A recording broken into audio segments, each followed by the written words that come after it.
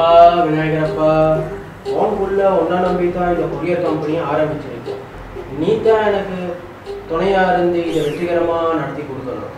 கொரியராக கொட்டணும் நான் அதை டங்கு டங்குன்னு குத்தி எனக்கு பணமாக வரணும். இதில் ஏதாச்சும் மாறிச்சு நான் கடுப்பாயிடுவேன். நான் சொல்கிறத மட்டும் செஞ்சுதாங்க அது போதும். கடவுளே காப்பாற்றுறேன் என்னை மட்டும் காப்பாற்ற பாஸ் நான் சொல்கிறத தெளிவாக கேட்டுக்கோ. நான் அவன் காலை பிடிச்சி இவன் காலை பிடிச்சி கடனை உடனே வாங்கி இந்த டிங்டாங் கொரியர் கம்பெனியை நான் ஆரம்பிச்சிருக்கேன். இதுக்கெல்லாம் நான் வாங்கின கடனை அடைக்கிறதுக்கு நீங்க தாண்டா எனக்கு உதவி செய்யணும். அது முடியாது சார் முடியாது. ஏன்டா எடுத்துட முடியாதுங்கிற? பின்ன என்ன சார் எல்லா டெலிவரி ஐட்டத்துக்கும் ஒரு கிலோவுக்கு ஒரு வேண்டு போட்டா நாங்க எப்ப சம்பாரிச்சு எப்ப சார் எடுத்த கடன் எல்லாம் அடைக்கிறது? மடையா மடையா மடையா. இப்போதான் நான் புதுசாக ஆரம்பிச்சிருக்கோம். நம்மளுக்கு கஸ்டமர் நிறைய வரணும்னா நாம குறைவா தான் கொடுக்கணும். அப்போ தான் கஸ்டமர் நிறைய வருவாங்க. அதுக்கப்புறம் நாம விலையை ஏற்றி கொள்ளலாம். இது நான் சொல்லலடா. அம்பானியே சொன்னது. இதுதான் வியாபார யுக்தி. புரிஞ்சதா?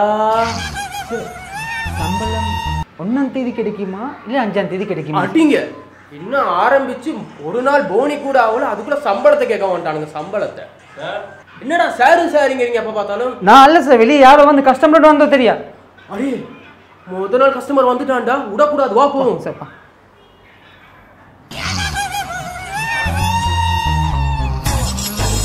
ஆ, வாங்க, வாங்க, வாங்க, வாங்க, வாங்க, வாங்க. ஜஃப்னாக்கு அனுப்பணும். ரெண்டு கிலோவுக்கு.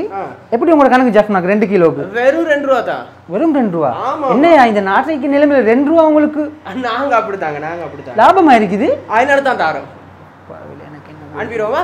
அனுப்பு அனுப்புங்க ஐயோ அம்மா அதெல்லாம் என்னாச்சு சார் ஐயோ என்னத்த கர்மத்தடா கொண்டு வந்த?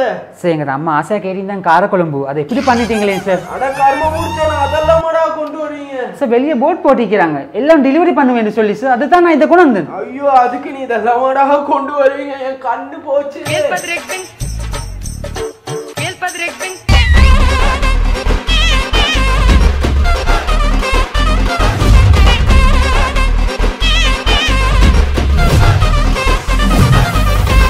வீட்டு பிள்ளையா நினைச்சு எல்லாரும் என்னை மன்னிச்சிருக்கேன்